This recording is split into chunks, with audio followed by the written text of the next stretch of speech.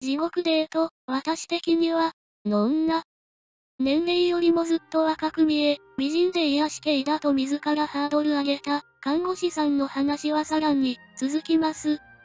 仕事の疲れがどっと加速し、重く体にのしかかる土曜日の夕暮れ、小生は待ち合わせをした大阪の南蛮に足を引きずりしぶしぶ向かうのでありました。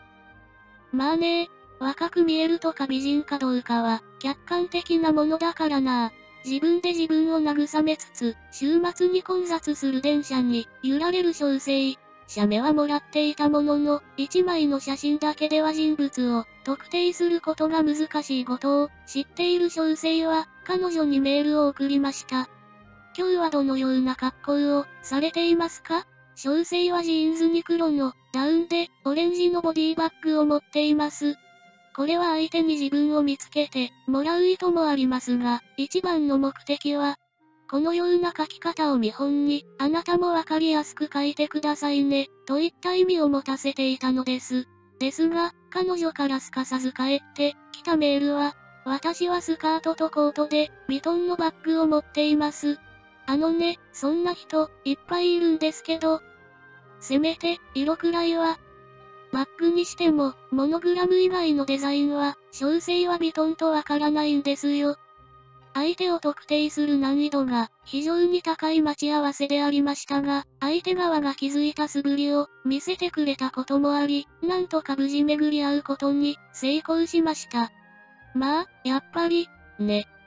写メの段階で分かっていたものの、やはりお相手は自分で言うような、年齢よりもずっと若く見える美人、癒し系ではありませんでした。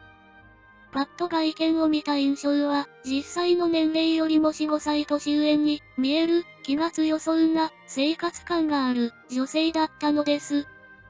人間性を重視する小生としては、好きになれる内面を備えている方であれば、外見にはあまりこだわらないのですが、やはり強烈にハードルを上げられた後での現実でしたので、さすがに少なからずがっかりしてしまったのですね。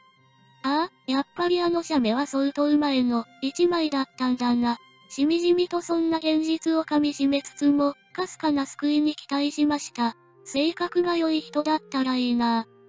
ポジティブに気持ちをシフトしつつも、テンションがすっかり下がりきってしまった小生は、何の変哲もひねりもない、ありふれたチェーン居酒屋へ入店したのでありました。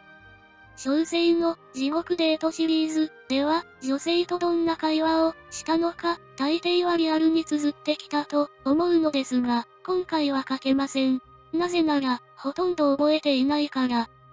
すべての会話を忘れてしまうほど、最後に彼女から聞かされた話が、強烈で濃くすぎたのです。